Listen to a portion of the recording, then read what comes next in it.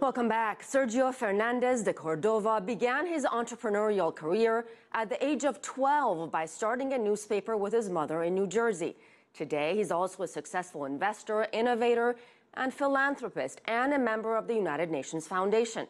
He joins us from the UN, and also with us from New York is a founder and president of Wellbeing Foundation Africa, Toyin Saraki.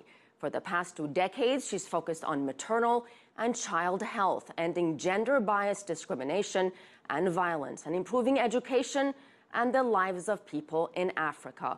Sergio, let's talk about sustainable development goals. I have some of these goals in front of me no poverty, zero hunger, good health, well being, good education, gender equality. China has really led the effort in this department.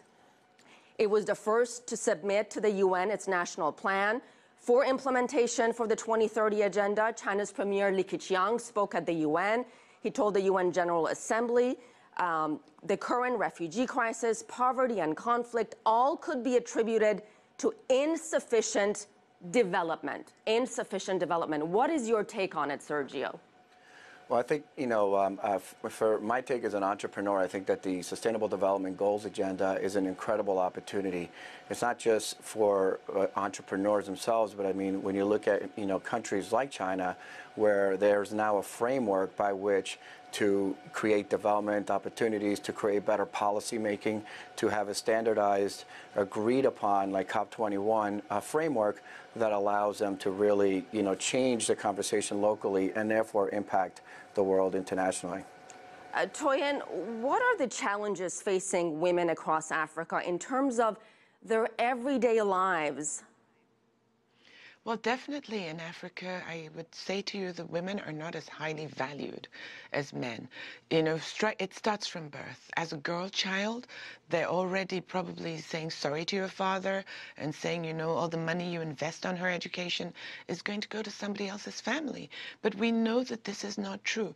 Women are nurturers, women are carers, and the most important investment that you can make is to invest in the education of a girl's life, to give her the opportunity and give her rights. You know, we, we need to have our rights assured. In Nigeria, we're currently struggling, actually, we're fighting to get the gender equality and opportunity bill passed. And I believe that this was actually initially rejected because of um, an ambivalence or even a fight back to the idea of women owning property, property rights and inheritance rights. But we're working on it. I have um, convened a stakeholders forum to support the Gender Equality and Opportunities Bill, and it's getting a second chance at the Senate next week.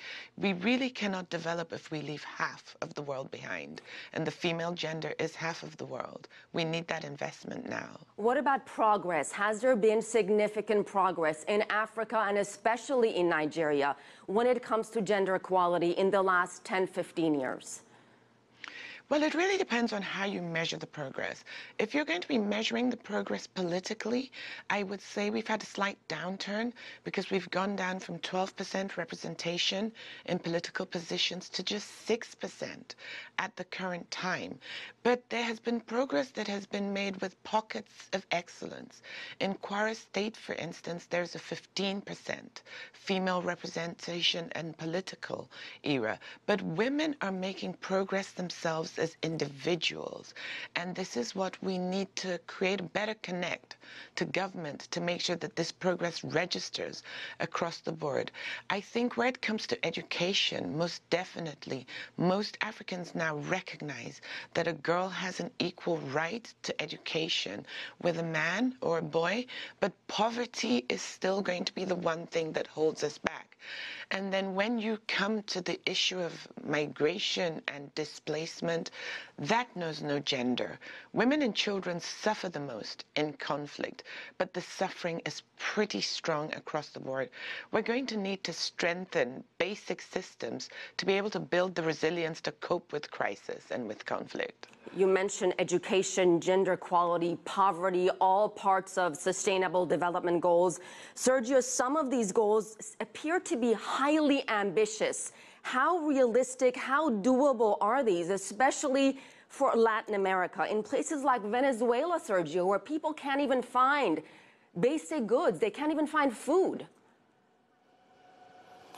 Well, I think that when you when you're looking at you know how doable are they, I think that you know although they're they're broad and lofty, I think it, it really goes down to each of the independent economies. I mean, what's exciting about in Latin America is that there's a real opportunity. We just hosted a big summit at the UN of, of Latin leaders, and to talk about how we're implementing the Sustainable Development Agenda in Latin America, and now Cuba really becoming a, a an incredible opportunity, as well as obviously Venezuela. Really, you know, uh, um, there obviously a lot of reform needs to happen there, but you know, the opportunity within the framework of the SDGs in Latin America is something that we're very excited about because it's, it's, they're not that far behind.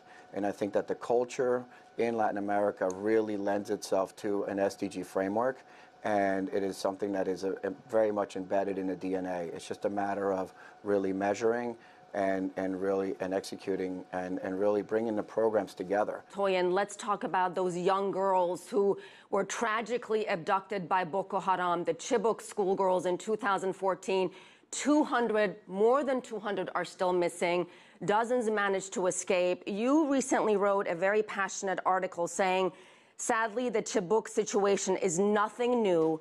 Seldom throughout history has armed mobilization not been weaponized to victimize women.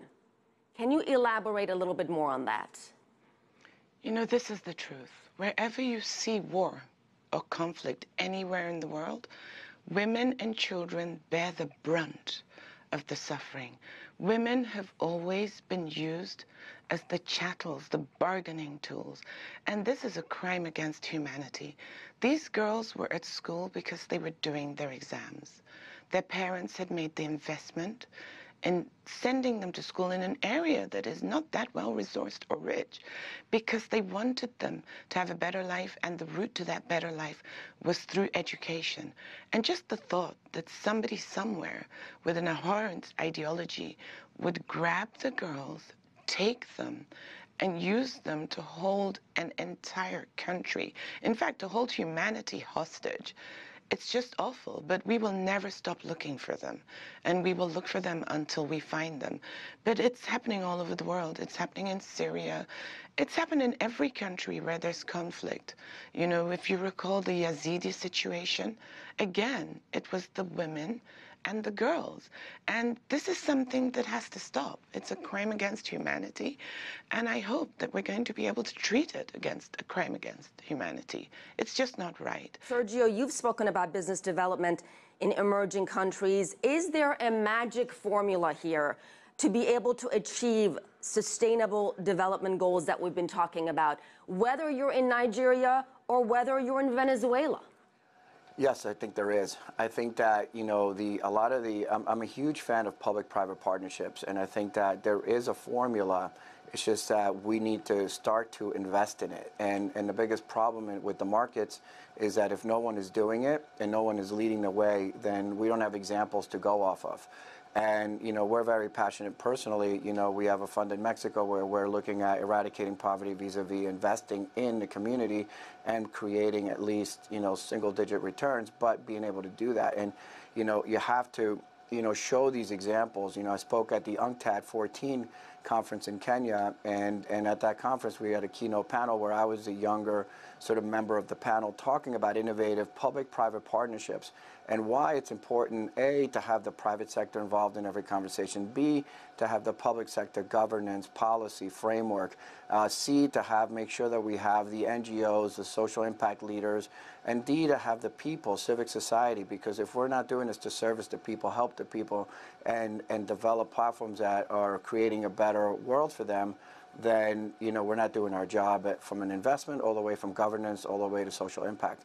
And I think that you know this you know today we look at it as something that's innovative, but you know to me in my in my eyes it's like it's common sense. If how are we not doing this and how are we not implementing it and how are we not replicating it? And you know some of the work that we do with the SDG fund as well is, is looking at that framework, creating this sort of GP for the LPs to be able to plug in. The general partners create the framework, the document, the paper that allows then a limited partner to come in and actually take a chance at an opportunity. And I think, again, you know, we're in year one.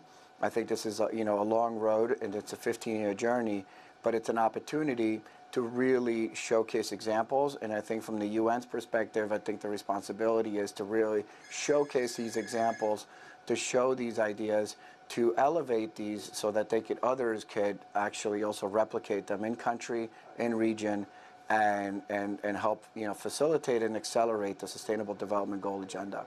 Uh, Toyin, let me um, switch gears and talk a little bit more about something uh, very personal, uh, something that happened to you. You've been open about sharing your heartbreak, uh, losing one of your twins at birth in Nigeria. Um, could that have been prevented? Talk to us about Nigeria's public health care system and how did that tragic loss shape your advocacy on behalf of other women? You know, I think it could have been prevented 100%. I was seven months pregnant and I delivered in a pretty good hospital, but they didn't have my records and I arrived there in a crisis. And the anesthetic just um, didn't get there in time. So I had one stillbirth and I had one premature child, a 28 weeker. I had to fight for my life and I had to fight for my child's life. And part of that fight was getting the right information, the right medication, and the right techniques to bear on my situation. Now, there were good points that came out of that. I received fantastic care from the medical personnel and very compassionate care from the midwives, which really, really helped, you know, not just my physical health, but also my mental health. But when I came out of it, when I came out on the other side, I was filled with um, a sense of outrage and realization that what happened to me was an everyday occurrence for hundreds and thousands of women in my country. We lose about 800,000 women a year in childbirth and an equal number of children. That's 1.6 million lives lost every year that is preventable. And it's preventable by simple things. It's having trained medical personnel to meet you at your point of need in a well equipped medical facility that has all the right tools and medications and records, a history of what you've been through so that they know what to do to you or can even predict what you need in advance. And that's why I started the Wellbeing Foundation in 2004. So the Wellbeing Foundation initially started by helping with access to healthcare. We were literally paying people's hospital bills. And that evolved into a universal healthcare access fund where we partnered with a community health insurance scheme to pay capacitation fees so that patients could actually have a full insurance package of care. But I feel very, very strongly that we need to support health workers. And that is why I accepted the role as Global Goodwill Ambassador to the International Confederation of Midwives, which promotes the midwifery services framework, which is centered around the SDGs around the world. We have reached 125,000 women, and the proof is in the pudding. We have not lost one single one of our mothers or newborns that have attended our classes. In the facilities where we have put our EMONC trained midwives, they haven't lost a single life either, which is a complete variance to the national mortality figures. Tremendous achievements. We so appreciate both of you, Toyin you, for opening your heart, talking about your personal pain as well. Sergio, to you as well. Sergio Fernandez de Cordova, Toyin Saraki, thank you to you both.